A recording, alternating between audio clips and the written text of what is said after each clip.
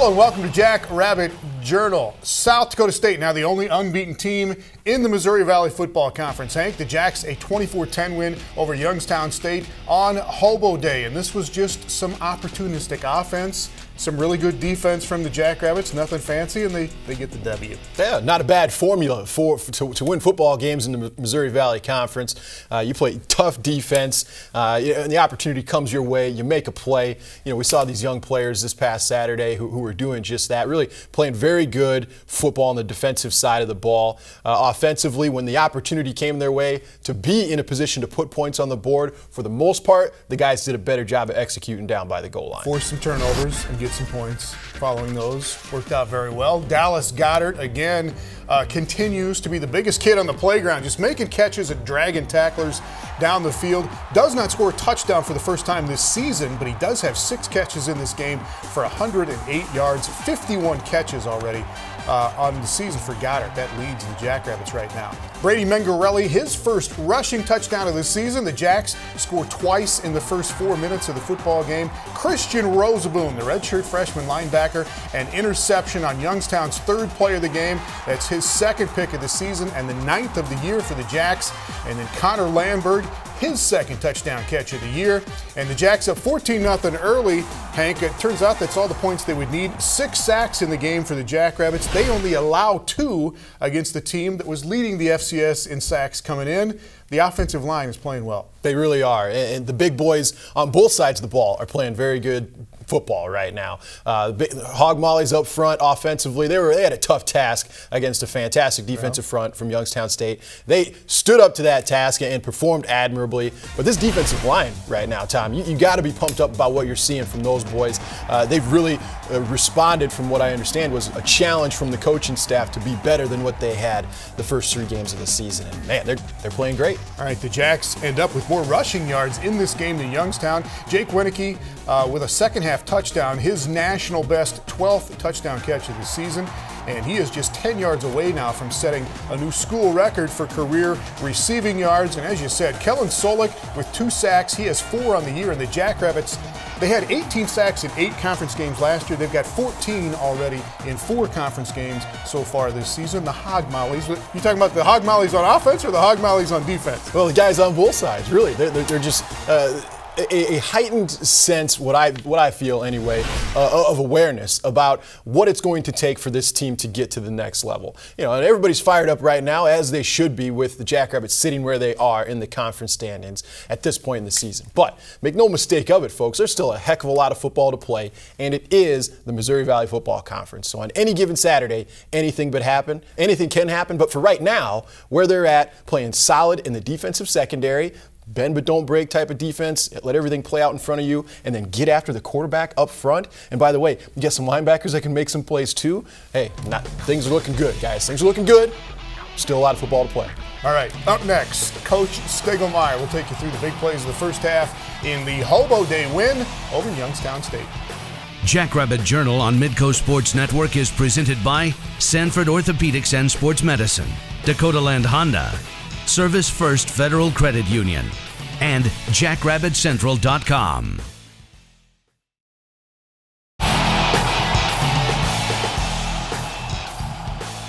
Welcome back. The Jackrabbits had lost on Hobo Day three years in a row, so they put an end to that little streak with the win over Youngstown State. Let's go to Brookings. Here is Coach Stig with the first half. Stig, let's start with this. Um, who are Clint Brown and Jason Eck, and why do they deserve a lot of credit for what's going on right now?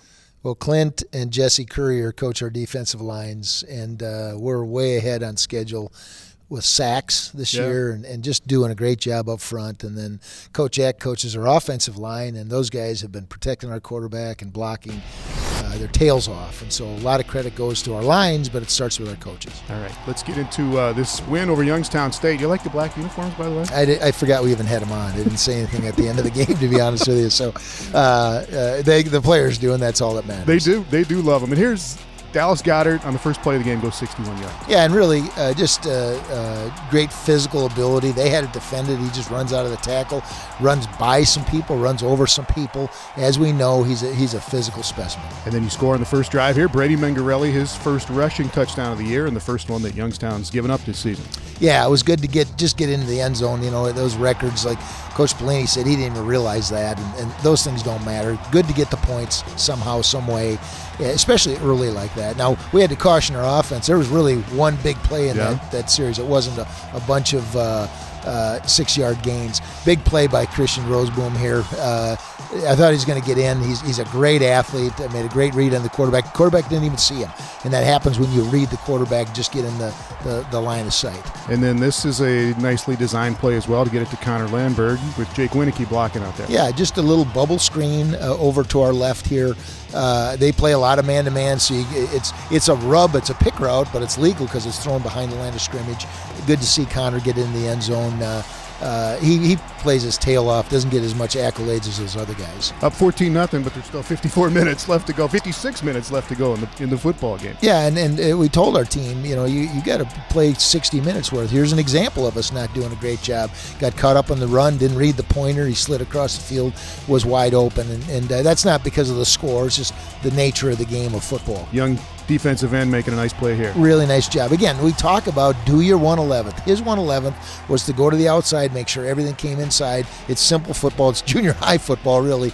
Makes a big play in the game. Austin Smenda making that play, and then Jesse Bobbitt was flying all over the field here, and he comes in at the end here. Officials are really looking at targeting this year, aren't they? Well, they, they are, and because it's a reviewable play, they can throw the flag with the ease of, uh, you know, it can be overturned. And, and, I understand that. If in doubt, throw the flag. I didn't think that was even close. But we held them. The, the, the penalty was denied, and uh, they've got a good kicker, so he's going to make that kick. All right, Kennedy knocks that through. It's 14 to 3. Jacks in the lead late in the first quarter here. And then after Jack's three and out, some more defense. Rozeboom, Dallas Brown back after that injury. Yeah, really good to see Dallas back. I mean, he's a calming spirit. He's uh, he, he, knows our defense so well, and he's a good, really good football player. And so it was good to get. We had six sacks in the game. That was really great. Kellen Soulek and Nick Farina kind of combo on here. You just jam it all up in the middle. Yeah, and that was coverage. So you just see him bring the ball up, yep. and he has nowhere to throw it. His first key was gone, and the, the, the pocket collapses. And again, our Lions are doing a great job. Second quarter here, and this is the longest play of the game. They get that little pump fake and then get 32 yards down the sideline. Great execution on their part. Anthony needs, uh, when he breaks on the three step, which you don't see there, but they ran a hitch and go, he needs to just destroy it when he comes up, and then it's not that easy to, to complete. Defense but, again, though, Kellen Soulek. Yeah, again, great coverage. Uh, again, uh, uh our D line is collapsing the pocket because uh, they are good, and uh, consequently, we get another sack. And a missed field goal by the other team coming up here is always a big win for the defense. It is. It just, you know, even though they marched the field some, you come off feeling like a champion because they didn't get points. And, and that's what you want in that situation. You want that momentum. All right, late in the first half, Jack's driving again here. Marquise Lewis making a catch. Yeah, nice play again. Very skilled. You can see how skilled he is. Uh, redshirt freshman for us. He's going to make a lot of plays. He's just kind of coming, feeling comfortable in his role right now. But it was fun to see him make that play. All right, next play, Taryn Christian going to hook up with Jake Wieneke down to the 10 yard line yeah, again, Jake is so strong. You can see a battle here. He's made so many of those just simple slant routes, and he's got such a long body. He protects the ball. Uh, big play again in the game. This was late in the first half, trying to get in position to, to, to score some points. Uh, their their defensive end just destroys us because he is a really good football yeah. player. He slants, caught us off guard, and stops uh, Taryn. Uh, down there by the goal line. Chase Vinatieri comes on for a field goal here to make it 17 to three at halftime, and you blitz them early with those two those two scores in the first four minutes of the game, and then it and then it kind of evened out a little bit. It, it? it, did even out. It got almost uh, lethargic at some points yeah. in the football game, but uh, you know some games are like that. They're just like going to work. You just got to get get her done. Keep doing your job. Second half coming up next. Farina and Rozeboom and Gottlob and Soulek and everybody else getting after it on defense for the Jackrabbits.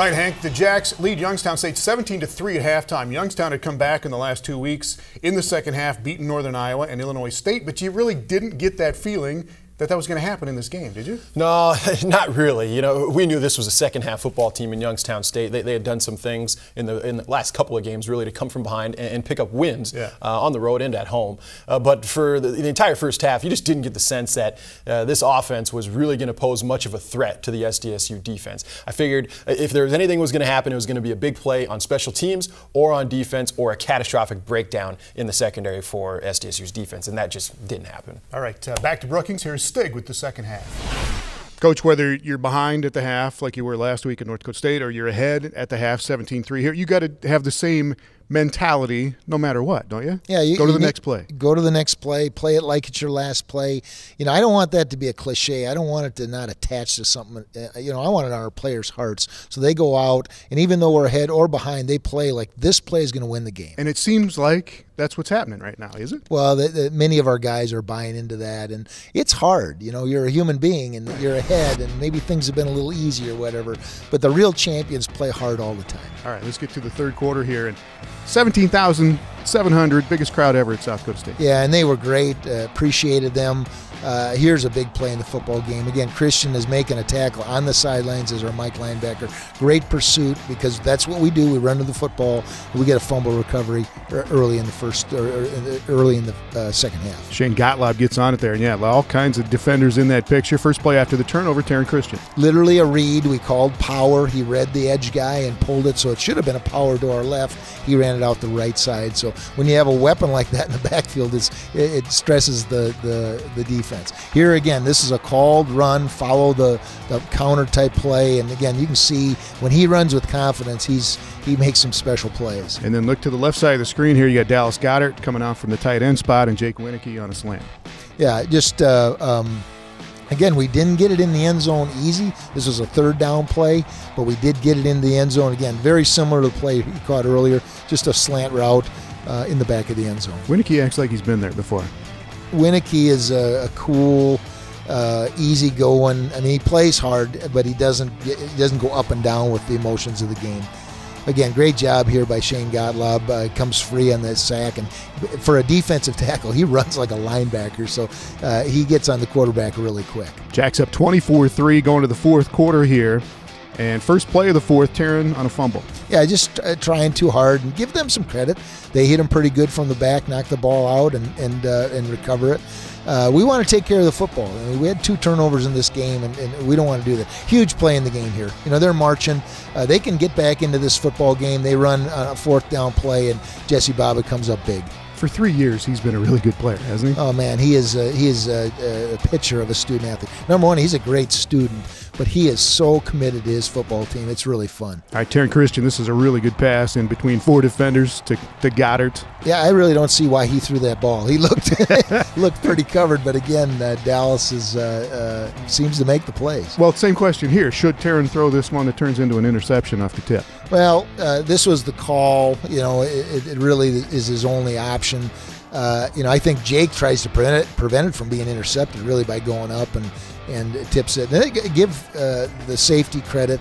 He, he runs his tail over there, makes a big play. Yeah, this is another Nebraska transfer, number three here, Alexander, and he does come up with the interception. So, as you said, second turnover of the game, but Defense comes up big again. They bring in their second string quarterback here in Austin Semenda and Ryan Arith, your two defensive ends yeah, over on the sideline. Playing hard, playing physical. Uh, you know, that, that, young man, young man got hit pretty hard there. Uh, that's the way you want to play the game, but you also want to take care of uh, anybody on the football field. All right, as you said, six sacks, seven tackles for loss in this game, and it ends up uh, 24-10 as Youngstown gets a late touchdown there. But have the emotions been really, really high in these last two games, or have you been able to win these last two big games? On kind of an even keel. The emotions were really high for the North Dakota State game. I think uh, we were up for this game, Hobo Day and, and, and Youngstown playing for the conference yeah. lead, but it was a little more business like. Uh, but again, we approached it that way. We didn't we didn't put a lot of pressure on our players, and they came out and did a good job. And everybody worries about a letdown after two big wins like that.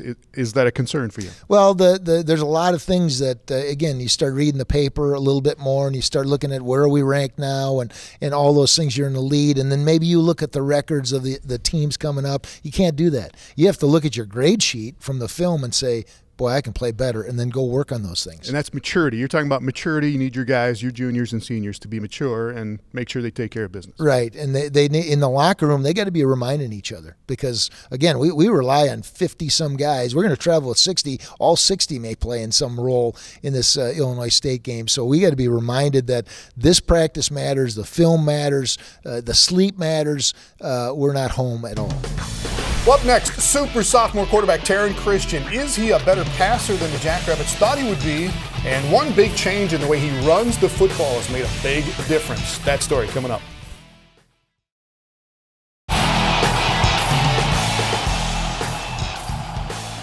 Welcome back. Uh, Jackrabbits quarterback Taryn Christian, Hank, has he been okay? Has he been pretty good? He's he been really good this year? Why? Uh, Taryn's been very good so far in 2016. And uh, everything that we saw last year, we understood that this was a good football player. But I wanted to see whether or not he could develop into a great quarterback. And he's taken some serious strides to get into that point this right. year. He is uh, one that didn't get away. He's a South Dakota kid at South Dakota State, and he kind of always knew that he wanted to be a Jackrabbit.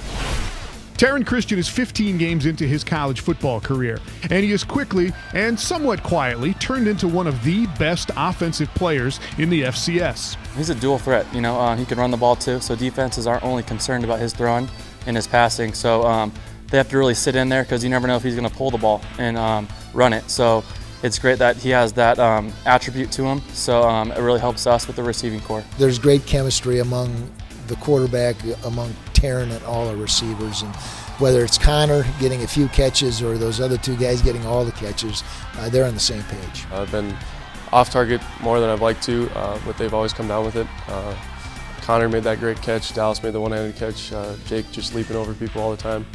Uh, so I know if they got one-on-one, -on -one, uh, we got a good chance, even if I just throw it up, not making really a good pass. Of course, he's missed a few, but his completion percentage is 66% so far this season. That's in the top 10 in the country, up from 55% last year when he was good, but still green. Last year, as a true freshman, he was very mature. I think uh, the game has slowed down for him this year. Uh, he's not taking as many chances running the ball. And yes, he finally learned how to slide this year. well, I kind of got some grief uh, last year. Um, because a lot of times I would just hit guys and I'd just kind of bounce back. It wasn't like high school anymore where I could hit guys and still fall forward. Um, so kind of in the off season, the coaches kind of gave me some grief about it. Uh, Coach Eck especially uh, was giving me crap. Uh, so really just just keeping myself safe. And then uh, I know I've kind of bumped myself up in the in the TCU game, especially uh, rolled my ankle. So uh, when I get down, I'm not getting hurt. So I mean, it's it's good for me. it's good for the team and it, it, keeps guys out of my ear. Well, the Jacks got in his ear and got serious about Christian in the summer after his sophomore year of high school at Sioux Falls Roosevelt. It was one of the first college camps I'd been to, and uh, I remember talking to Coach E a lot, Coach Jackson uh, beforehand, saying they wanted wanted me to come up. They just wanted to see me uh, in person, um, just kind of see what, how my throwing technique was, how I moved, uh, flexibility, stuff like that. And then after camp got over, I talked to Coach Stig, and he said they were going to offer me a scholarship, and uh, just just kind of rode from there. Well, during the recruiting process, Christian had high interest from FBS schools Ohio and Eastern Michigan, and he made visits to Iowa and Iowa State and Minnesota. But he kind of knew all along where he wanted to be. I was going to go on a couple more visits um, before my senior year, and one day I was just like, I know I want to be here. I know I want to be a Jackrabbit. Um, I loved it. Uh, they loved me. Um, I really felt at home. Uh, I knew my parents my family could come watch my games. Uh, I wanted them to kind of get this experience with me, and uh, it, it, really just felt like home to me. And even an injury that kept him out for most of his last high school season did not deter either coach or player from keeping their commitments. We had offered him a lot earlier than his senior year, and so we believed in him. We thought he'd be a great quarterback. Uh, you can't judge how hard a guy's going to work, and, and Taryn has taken his God-given gifts and maximized them. Really, I, I got hurt, and then I hadn't played football until I got here. Um, so I think just live reps kind of, uh, I hadn't actually thrown to receivers running full speed and seeing a defense 11 on 11, seeing a live rush, stuff like that. Um, so I mean, maybe it did a little bit, but I don't think it took too long because I mean, uh, I still prepared for it, um, prepared for games uh, in high school like I was playing uh, so that I could get to our other quarterback ready, help him uh, be better in that from that standpoint. Um, But it was, it was a tough time, uh, but I don't think it really set me back. It never crossed my mind that I was never going to play football again. I'm, i mean, I had in my mind that I might not play high school football again, but I, I knew there were bigger things to come. And, folks, when you look at Taryn and his game on the field, a whole lot has to be attributed to the SDSU offensive coaching staff. Coach Eric Eidsness and, and his crew have really gotten him prepared over the last year, hone in on his fundamentals, understanding that they are dealing with an elite athlete and that they could they could really turn him into a great football player if he was the right individual to get that done. And based on everything that we've seen up to this point and heard from him, his composure, his decision-making skills on Saturday, and everything that he says before and after a game, uh, I think that the SDSU certainly found a diamond in the rough in Taryn Christian and expect huge things from him in the future. Absolutely. All right, uh, the Jackrabbits and Taryn Christian play at Illinois State this Saturday. Remember this game on the road two years ago against the Redbirds? Stig does. He said they got destroyed in that one. Should be a little different this year. Some thoughts about this weekend's matchup coming up next. Jackrabbit Journal on Midco Sports Network is presented by Sanford Orthopedics and Sports Medicine, Dakota Land Honda, Service First Federal Credit Union, and JackrabbitCentral.com.